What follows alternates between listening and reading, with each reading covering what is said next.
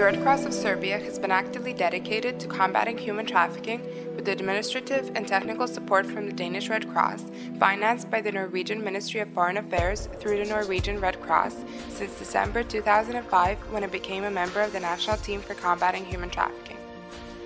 Guided by the seriousness of the problem and the fact that almost everyone can become a victim, but also by the fact that everyone can contribute to the prevention of this serious issue, the basic and most important role of the Red Cross of Serbia is prevention. That includes educating individuals and groups to recognize the problem, its forms, and various ways of tricking people into the human trafficking chain. The education and training program focuses on developing knowledge and skills to confront this issue the proper way to react to it, and inform the authorities about the existence of the problem using a mixture of materials and approaches that allow for different learning styles of the participants. The key to the success of our organization in this field is peer education. Thanks to this method, the Red Cross of Serbia conducts trainings in over 70 local branches through a network of trained volunteers, mostly young ones. From 2006 to 2009, young volunteers conveyed information about the issue and the ways to protect more than 60,000 potentially vulnerable individuals. Children and youth in schools, orphanages, centers for refugees and internally displaced people, Roma settlements, and soup kitchens. This number has risen even higher over the past few years. Thanks to the hard and dedicated work of the staff and volunteers of the Red Cross, and following the needs and the demands that have risen while preparing and conducting the training process, the volunteers of the Red Cross have gained additional knowledge and experience about the most efficient teaching methods, which they have generously shared and summed up. Thanks to the effort of the volunteers, many ideas have been gathered for a better and improved manual for peer educators. Today we have the pleasure to present the manual Human Trafficking Prevention Kit that was developed thanks to the initiative and dedication of our active volunteers whose enthusiasm and commitment have contributed to the quality of the content and attractive appearance of the prevention kit. The manual you have in front of you is easy to read and has an appealing layout. The two predominant colors, gray and red, are dynamically contrasted to stress the gravity of the issue. The emphasis is on visual presentation and the text is short and concise. We are proud to present the unique design created by our volunteers with mannequins as the main theme.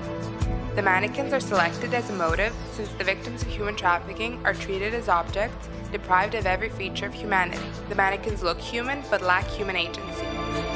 Placed in shop windows, their sole purpose is to enhance the sale of goods, bringing higher profit to their owners. This reflects the position of a victim of human trafficking. The mannequin from the cover page, deprived of any forms of communication, is wrapped in torn newspaper ads to symbolize the wish for a better future and tied with a rope and police tape. The tape itself is a symbol of a hidden crime that leaves the victim with severe physical and psychological consequences. The crack on the head of the mannequin signifies that the psychological consequences are more severe than any type of physical injury. The vivid but sad eyes that beg for help are the only feature of a human being, and the rest of the mannequin points out that it is deprived of its human rights and dignity. The trafficker can be anyone a person from your surroundings, a new acquaintance, a friendly neighbor. A person who, if needed, puts on a mask of concern, worry, thoughtfulness, happiness, or seriousness with a single goal to achieve his or her own benefits through exploitation of the victim. The victim of trafficking can be anyone a man, a woman, a child but most frequently, those are the people who are socially most vulnerable. What all the victims have in common is that they are denied their human rights and that they are exposed to cruel physical and psychological abuse daily. Human trafficking includes the recruitment phase, in which the potential victim is subject to the promises of the recruiter, the transit phase, in which the victim reaches the place of exploitation, and the final phase, the exploitation phase, in which the control over the victims is so harsh that they are like puppets in the hands of the trafficker. The last image depicts the rescue from the human trafficking chain. The mask, which symbolizes slavery and treatment of a human being as an object, is torn and the frightened person that hides underneath reveals itself. The victim is now awarded with dignity and humanity.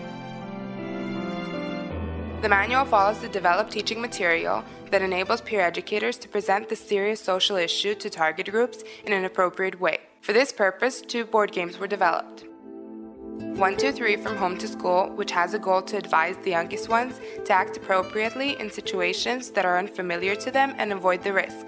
It is designed for ages 6 and older.